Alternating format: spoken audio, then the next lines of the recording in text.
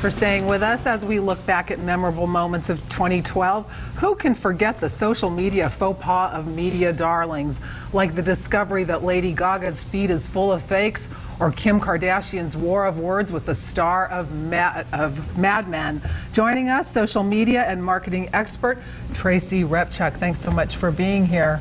Thanks so much. You're the author me. of a. You're a marketing expert, and this is your book. We're going to take a shot of it. Uh, but first of all, let me ask you. You said there are, there are do's and don'ts on Facebook, and we can remember, or on all social media, and we can remember the don'ts by remembering the word clout with a K, K L O U T. Tell me, what's K? Okay, so K is to, uh, it sounds opposite, but it's keep yapping. And what I mean by that is Twitter has 140 characters, you know, and, and that's a good thing. Sometimes we can say it really simply. So we say too much a lot and we talk too long. And so it's about getting our point across, so just don't, don't. keep yapping. Exactly. Yeah, and L stands for lie, I think, right? You're right, yeah. yeah. It, it's, it's become a trend now where people think it's interesting or, or, or like a joke. Kids are joking with it, and uh, companies are posting up testimonials. Not only is this not a good thing to do from that perspective, but, you know, uh, bureaus can come down on a business and, and shut you from small little white lies that you're stretching on your internet mm -hmm. and social media. Uh, what's the O stand for? Overposting. For goodness sakes, we don't need to know everything that you're doing play by play throughout the day.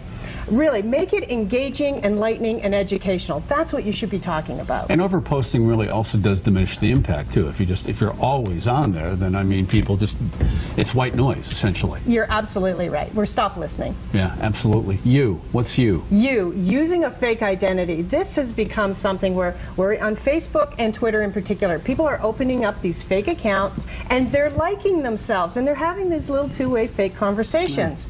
Absolutely do not do that. What about all the reviews? When I look at a company's reviews, I don't believe them because I think it's their employees or the owners going on there writing the reviews. And you're right. In many cases, these fake accounts and they're paying people to go and write reviews. So keep it legitimate. This is a place for authenticity. This is for us to engage and to relate and to be able to really communicate around the world and make an impact. It's not designed for, you know, creating this fake, yeah. fake bureaucracy. T. So T then and the you know unfortunately the celebrities are great for this and this is you know talking trash you know your your divorces your problems with your boss your problems with employees your problems with customers whatever it is don't engage and put that on the do you, internet. Do you find that the worst, is this a generational thing? Are younger people greater offenders or is this an equal age opportunity offense going on here? I mean, we're all bad at it. I think we're all bad at it. I think a lot of times, uh, particularly in our age bracket, we forget that thing's there forever now. And so we might just, in the heat of the moment, you know, boom, something goes out and we can't take it well, back. I think younger people think that too. And, yeah. and young people are completely oblivious to the longevity and the impact this is going to have. You know, college years, employment opportunities, all could go down the drain from, from saying something incorrectly. Is there too much made of how many followers you have? I always feel like I'm out of this race to get followers. I really don't don't care. I want the people who want to hear what I have to say to follow me. You're absolutely right. This isn't a game of, of you know village building. This is a game of creating a community where you can engage, enlighten, educate those that want to know you, like you, and trust you. Well, those are interesting tips, and hopefully we'll follow them. Tracy Repchuk, appreciate your time today. Thank you for coming on our program. Thank you, Jeff and Dana. resolution we're going to try to keep around.